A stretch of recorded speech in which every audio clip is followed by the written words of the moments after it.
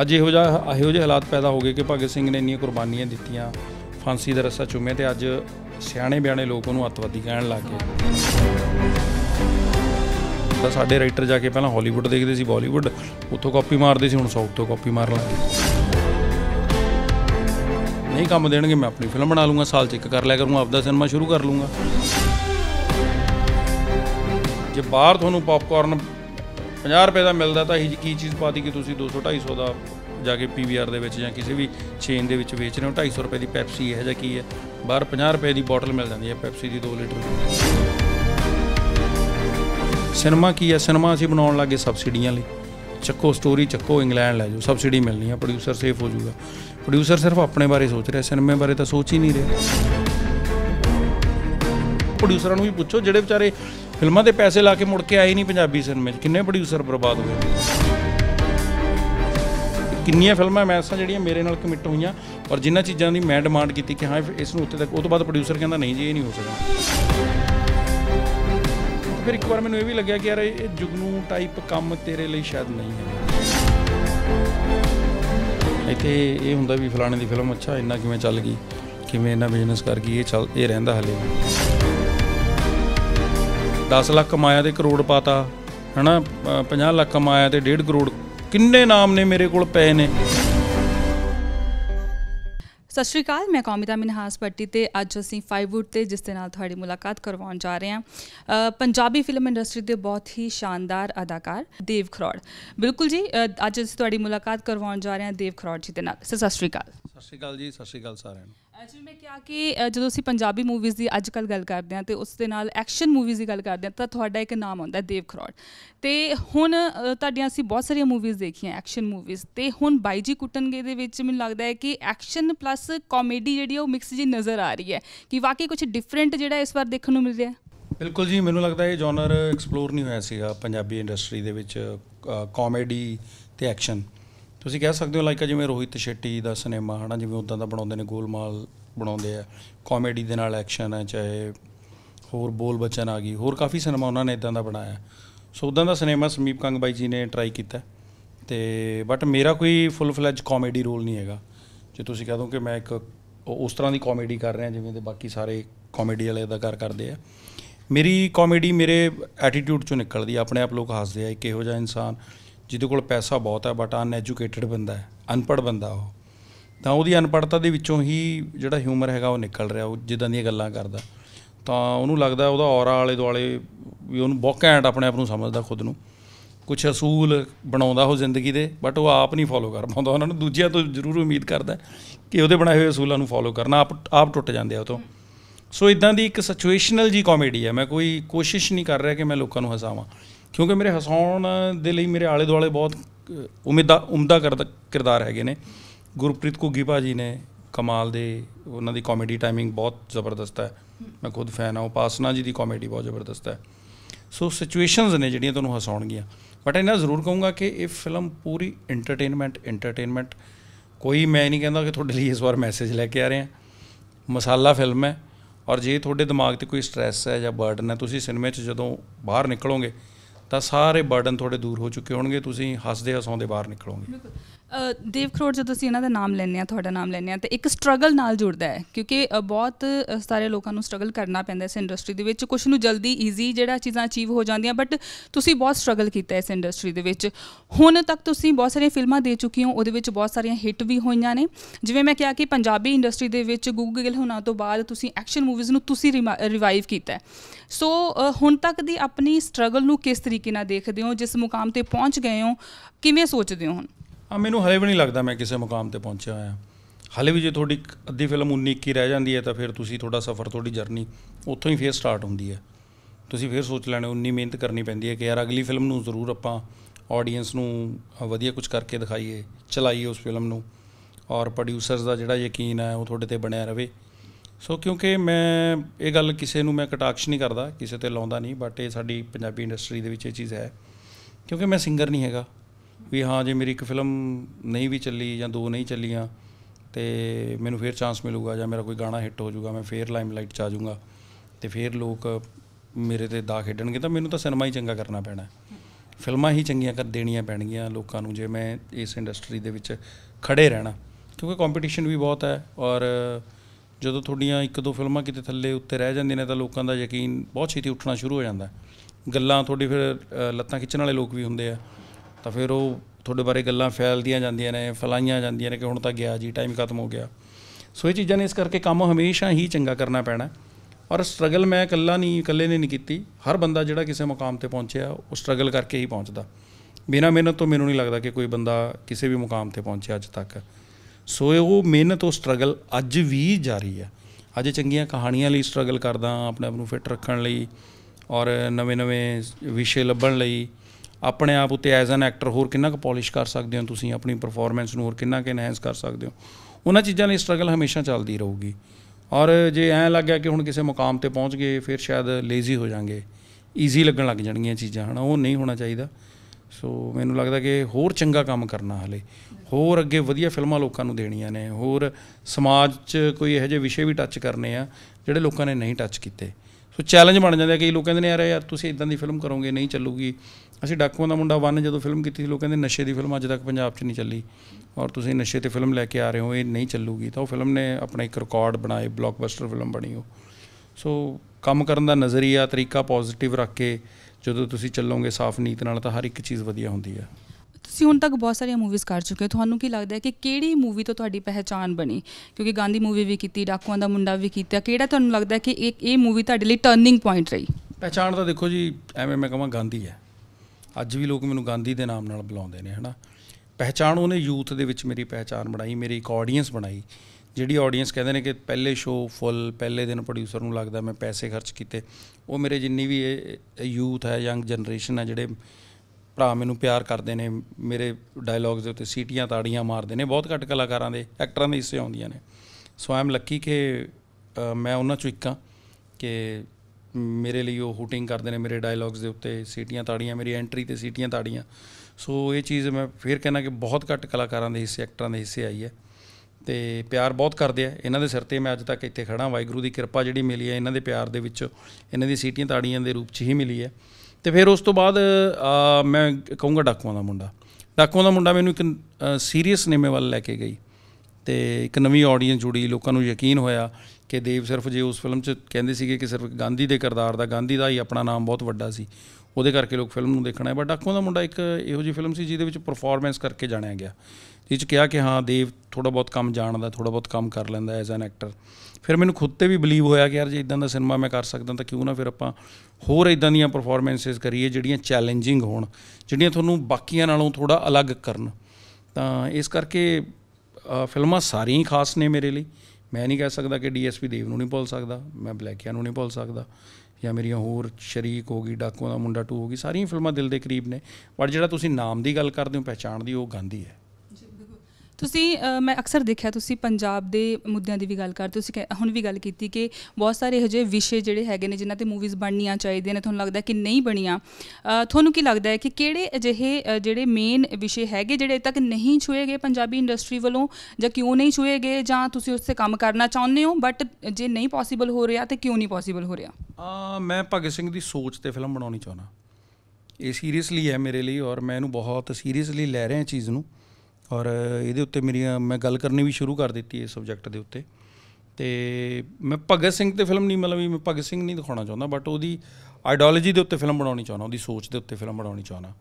ਅੱਜ ਇਹੋ ਜਿਹਾ, ਇਹੋ ਜਿਹੇ ਹਾਲਾਤ ਪੈਦਾ ਹੋ ਗਏ ਕਿ ਭਗਤ ਸਿੰਘ ਨੇ ਇੰਨੀਆਂ ਕੁਰਬਾਨੀਆਂ ਦਿੱਤੀਆਂ, ਫਾਂਸੀ ਦਾ ਰੱਸਾ ਚੁੰਮਿਆ ਤੇ ਅੱਜ ਸਿਆਣੇ ਬਿਆਣੇ ਲੋਕ ਉਹਨੂੰ ਅੱਤਵਾਦੀ ਕਹਿਣ ਲੱਗ ਗਏ।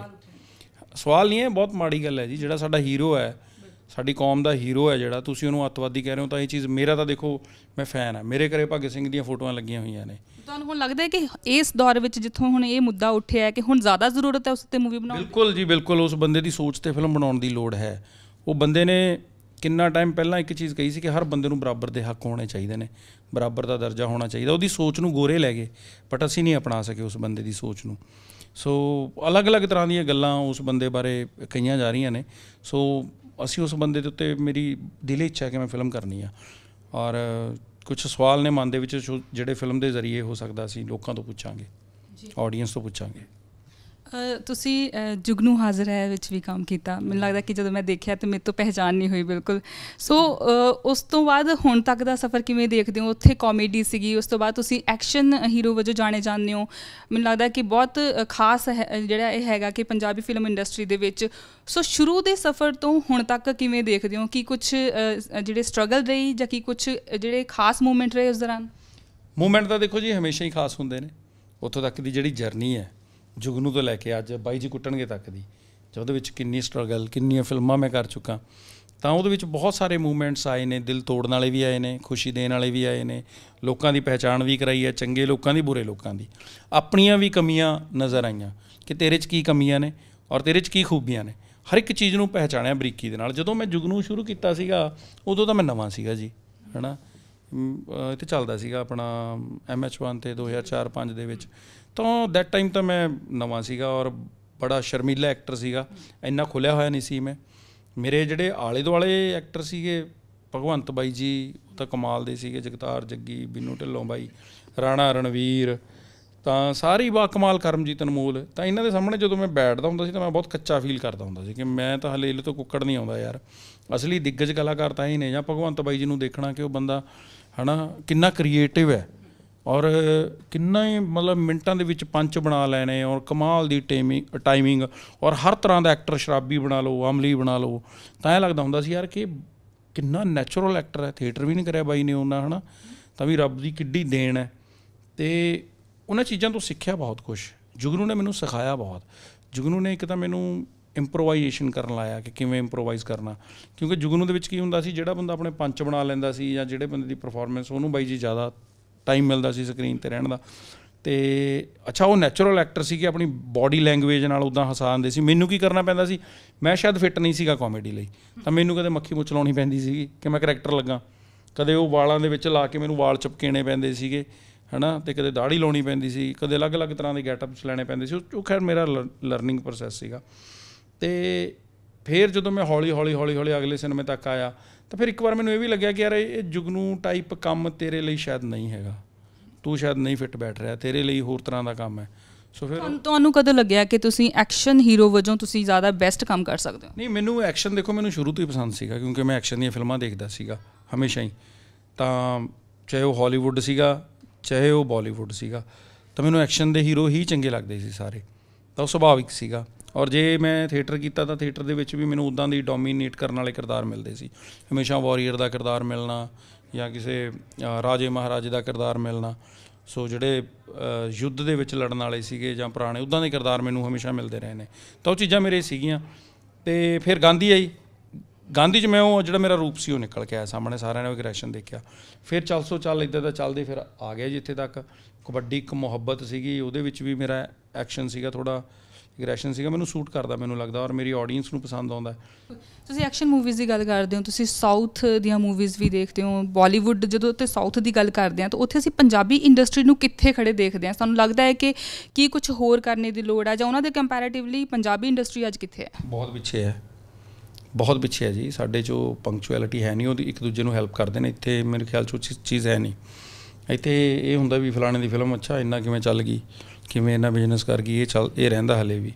ਲੋਕਾਂ ਨੂੰ ਉੱਥੇ ਸਗੋਂ ਸਪੋਰਟ ਕਰਦੇ ਆ ਸਪੋਰਟਿਵ ਨੇ ਔਰ ਉਹਨਾਂ ਦੇ ਬਜਟ ਬਹੁਤ ਵੱਡੇ ਸੀ ਬਹੁਤ ਪਿੱਛੇ ਆ।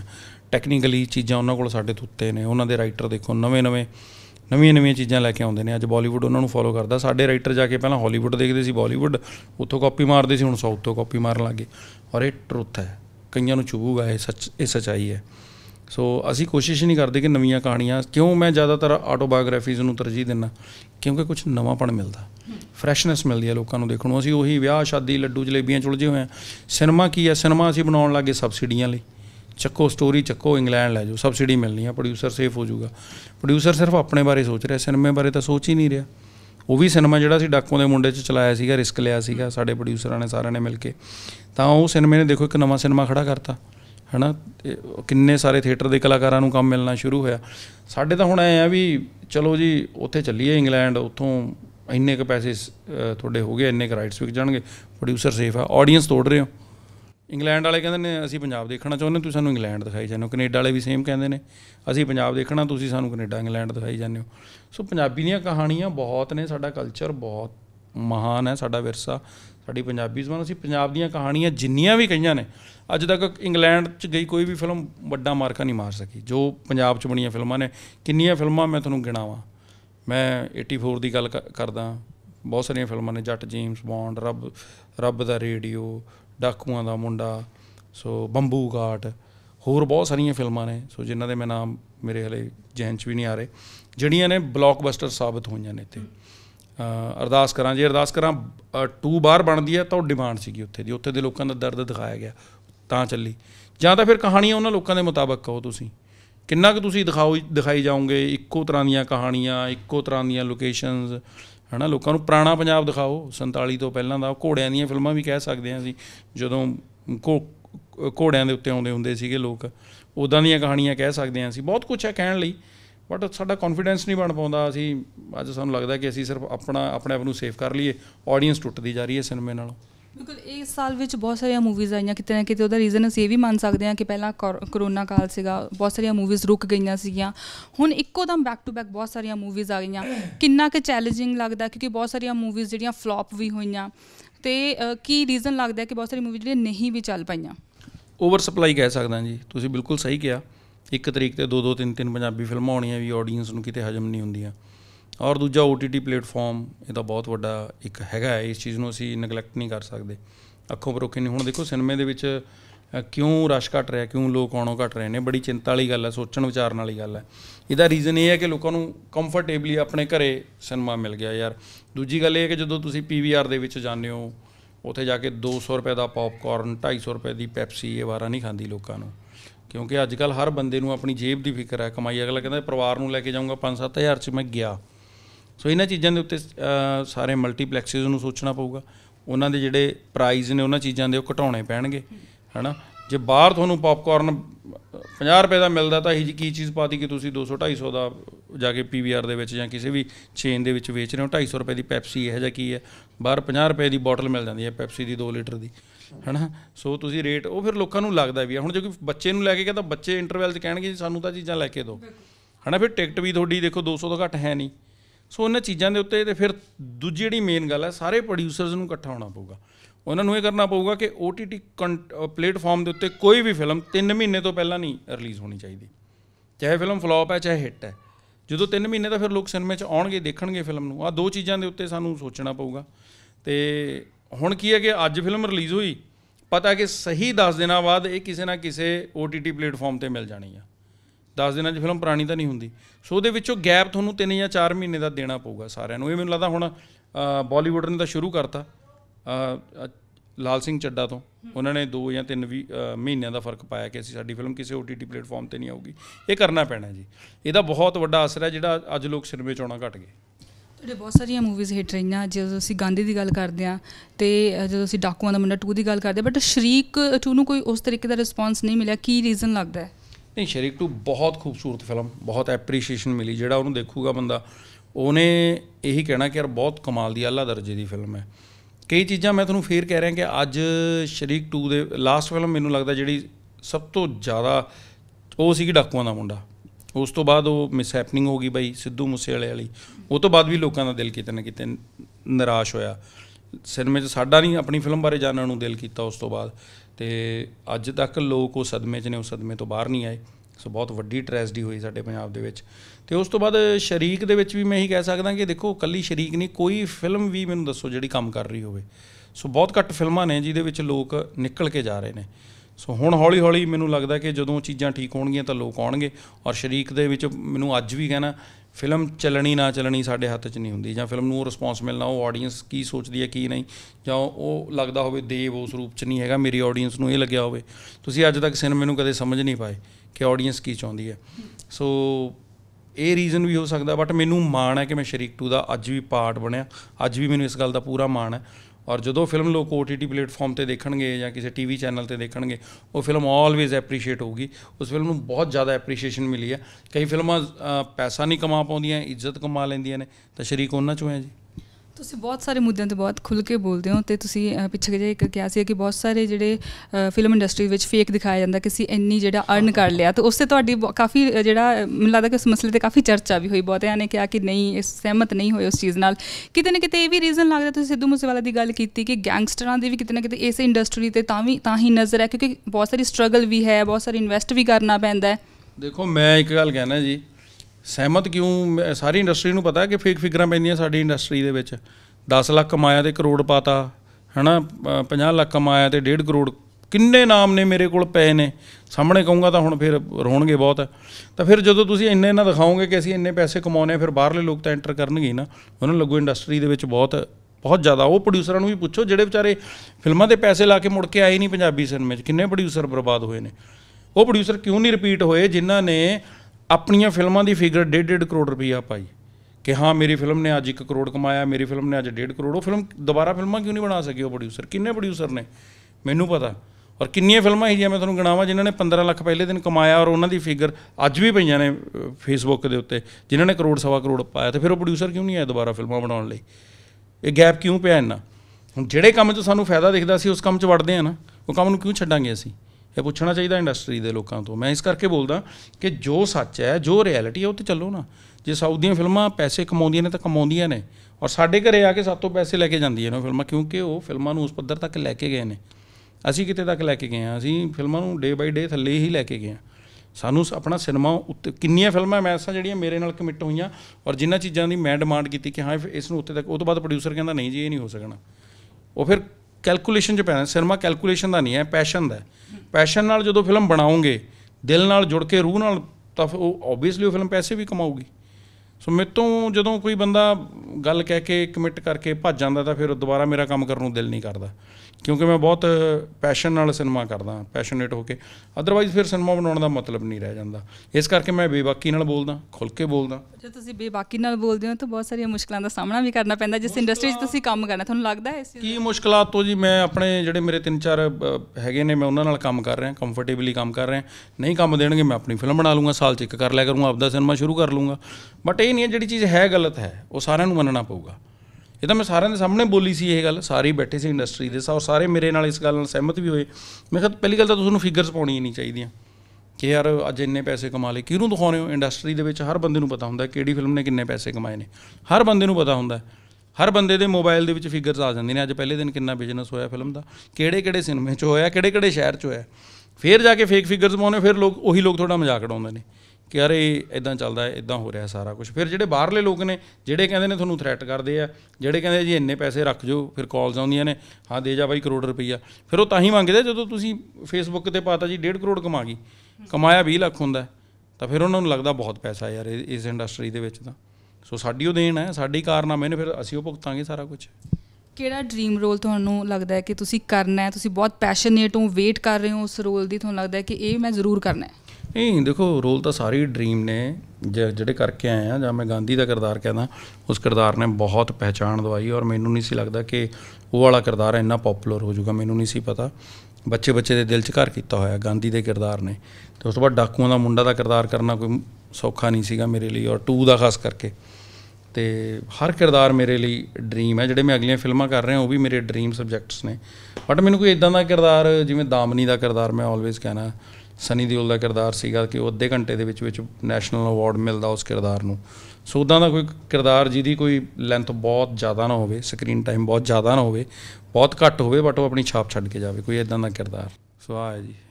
ਥੈਂਕ ਯੂ ਸੋ ਮੱਚ ਸਾਰੀ ਗੱਲਬਾਤ ਲਈ ਬਹੁਤ ਵਧੀਆ ਲੱਗਾ ਤੁਹਾਡੇ ਨਾਲ ਗੱਲਬਾਤ ਕਰਕੇ। ਇਹੋ ਜਿਹੇ ਹੋਰ ਸ਼ੋਜ਼ ਅਤੇ ਅਪਡੇਟਸ ਲਈ ਸਬਸਕ੍ਰਾਈਬ ਕਰੋ 5wood ਅਤੇ ਬੈਲ ਆਈਕਨ ਨੂੰ ਕਲਿੱਕ ਕਰਨਾ ਨਾ ਭੁੱਲਣਾ।